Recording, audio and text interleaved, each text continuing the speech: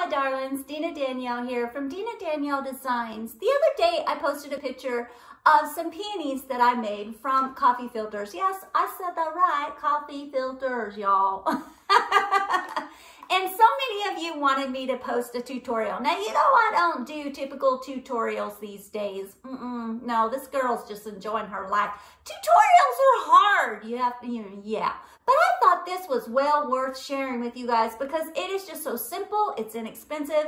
It'd be a great gift idea. It's also a really great idea to beautify your home and bring some magic in and some color because you can do these in any color. They're so simple. This would be a fun project to do with your kids, depending on their skill level. I do use hot glue in mine, so that's up to you, you know, whether you allow them to do the hot glue. You can use other kinds of glue if you want to as well. I just find that the hot glue it dries quickly and you can mold it and you can shape it a lot better than say like white glue. A lot of people use white glue. Now, if you're anything like me, you can go peruse other tutorials just to get ideas of how other people do these and then just start creating your own system. I will share with you how I do them, but feel free to tweak it in any way you want and use things that you already own. I'm a huge fan of taking what you have, spinning straw into gold kind of thing. I don't believe you have to spend a fortune on anything to have beauty in your life. So enough of the chit chat, let's get down to how I actually created these.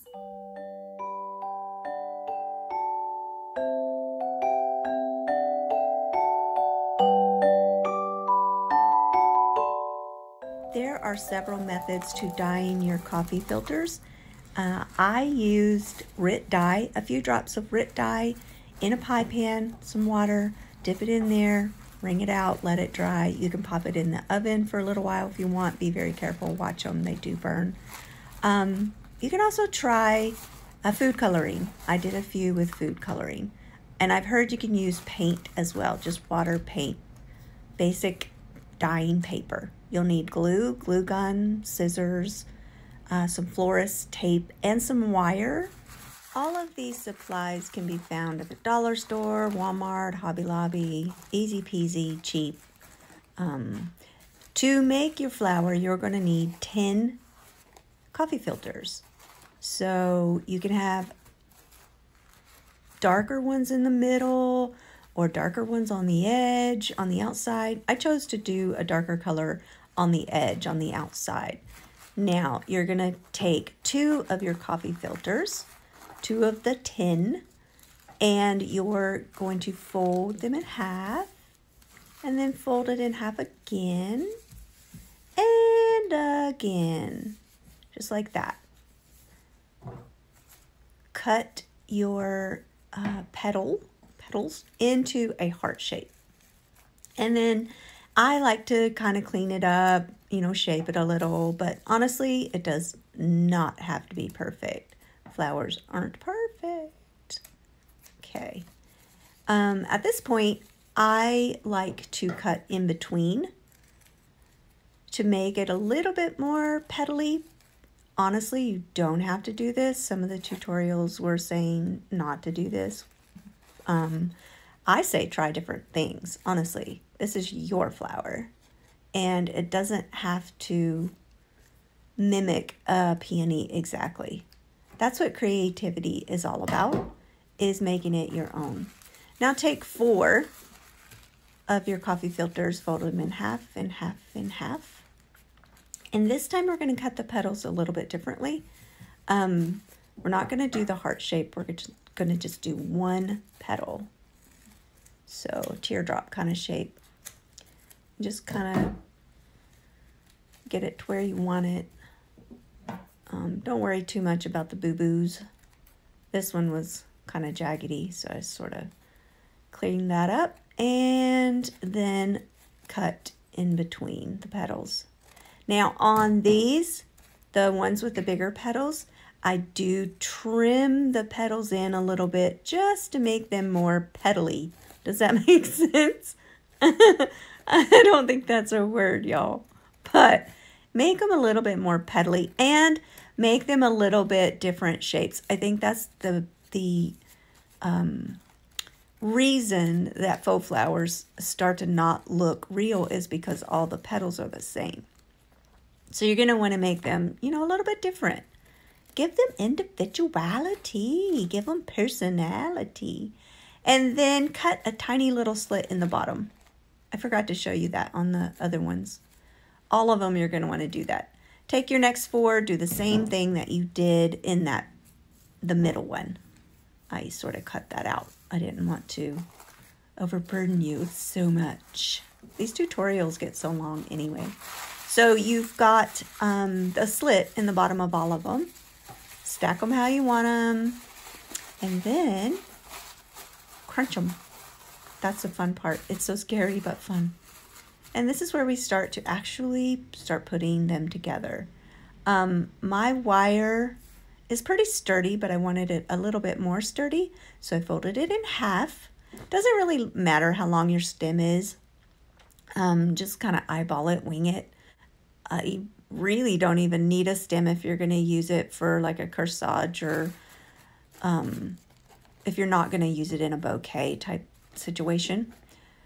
Uh, but just twist, twist, twist, and then make a hook on the top and hot glue. My glue gun is so disgusting, y'all. I did not put it in the camera. It is so gross. This girl needs a new glue gun. I want a big glue gun, um, but I want it to be pink, and I haven't found one yet. So just kind of smoosh, smoosh that hot glue onto your hook and really secure uh, the petal, the petals. And on this uh, part, you're going to want to, you know, squish it as far down as it can go. Again, add hot glue and smoosh. See how the hot glue helps you smush and shape? You're going to want to smush and shape, smush and shape. Say that 10 times. And keep crumpling if it needs a little bit more character. And keep doing the same thing. Like a little bit of glue and smoosh and shape. Just kind of work it as you go. The first two or three, you're going to want to really scrunch them up close, like I'm doing. That's sort of your center. Um, and you want it to be more close. So go ahead and do that. And be sure to, you know, make sure your petals aren't just stacked right on top of each other. You want the slits to be off center each time. Um, again, that's another problem with faux flowers sometimes. They can just be stacked right on top of each other and just look silly. So keep going if you need to sort of bring the center of it down a little. That's okay. Keep forming the flower as you go.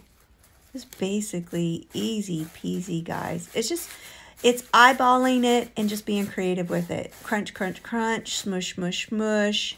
You know, looking at it each time. What do you look like, honey? Are you pretty or are you are you turning out ugly?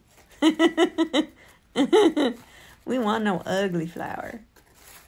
So smush, smush, smush. Oh, I just love it.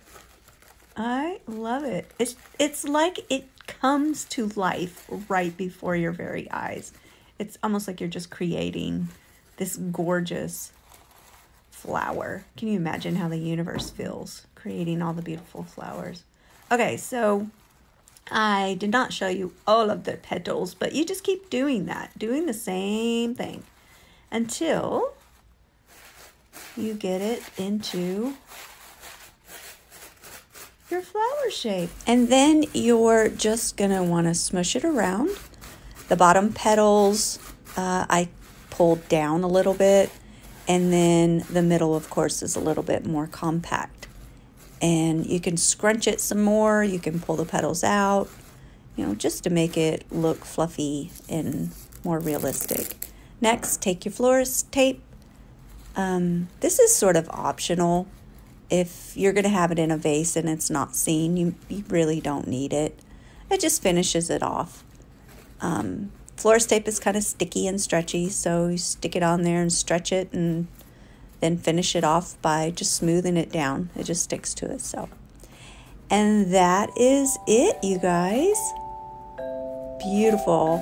Oh my God, they're so addictive.